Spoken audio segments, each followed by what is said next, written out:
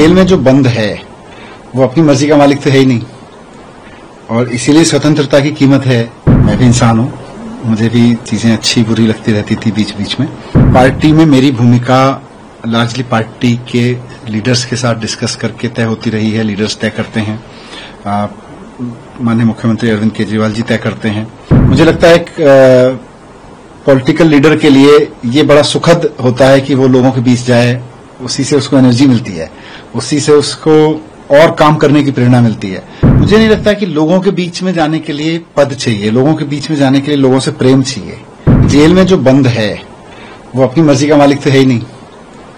और इसीलिए स्वतंत्रता की कीमत है। इसीलिए हमने अंग्रेज़ों से भी लड़ाई लड़ी थी कि देश के लोग अपनी मर्ज़ी से जिएँगे, अपनी मर्ज़ी से काम करेंगे।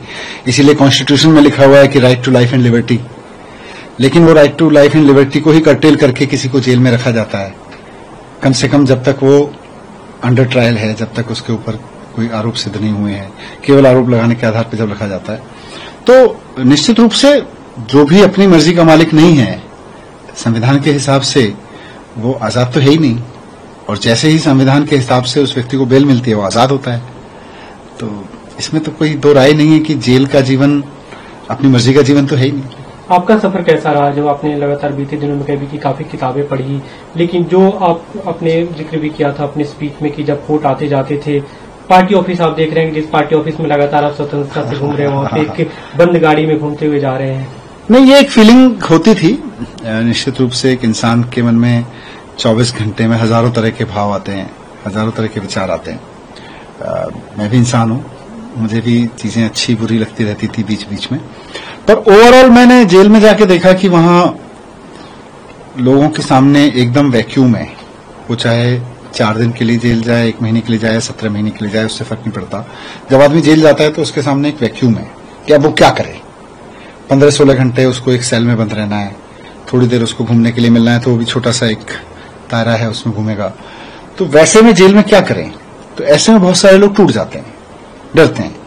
पर अगर हम उसका सदुपयोग करना शुरू कर दें, अगर हम ये सोचें कि भगवान ने मुझको ये समय दिया है, मेरे पास टाइम नहीं था पढ़ने का, मेरे पास योगा करने का, मेरे पास में मेडिटेशन करने का टाइम नहीं था, मेरे पास चिंतन मनन करने का टाइम नहीं था, भगवान ने समय दिया है, मैं पढ़ूं, मैं चिंतन मनन करूँ, मैं ध्यान करूँ तो मुझे लगता है कि वो एक अपॉर्चुनिटी हो जाती है फिर।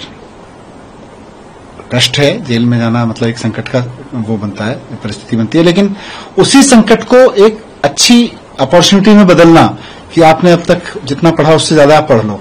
आप जितना मेडिटेशन के लिए भगवान के स्मरण करने के लिए समय देते थे उससे ज़्यादा समय दे दो। तो आप फिर उसको अवसर में बदल देते हैं। जी। अब जेल से आने के बाद आपकी जो भूमिका दिख रही है लगातार आप सक्रिय हैं अपने लोगों से मिल रहे हैं इलाकों में जा रहे हैं अपनी भूमिका आप कैसे देखते हैं? अभी जबकि अरविंद केजरीवाल अभी जेल में देखिए पार्टी में मेरी भूमिका लार्जली पार्टी के लीडर्स के साथ डिस्कस करके तय होती रही है लीडर्स तय करते हैं। माननीय मुख्यमंत्री अरविंद केजरीवाल जी तय करते हैं। तो अभी पार्टी के लीडर्स के साथ डिस्कस करके मेरी एक भूमिका तय हुई है कि मैं गली गली में लोगों के बीच में जाऊँ। कार्यकर्ताओं ने मुझे बुलाया है कि आइए हम आपके साथ में लोगों के बीच चलते हैं।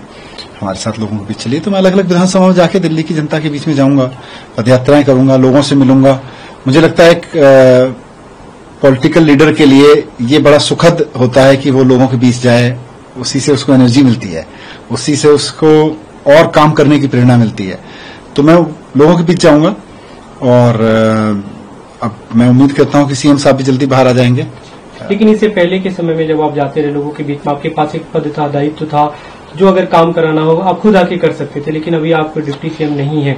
तो आने वाले समय में जब तक सीएम नहीं है क्या आपको लगता है कि फिर से उस पद पे जाना चाहिए? नहीं काम, काम करने के नहीं नहीं देखिए काम करने के लिए तो सरकार तो काम कर रही है और सरकार अच्छा काम कर रही है।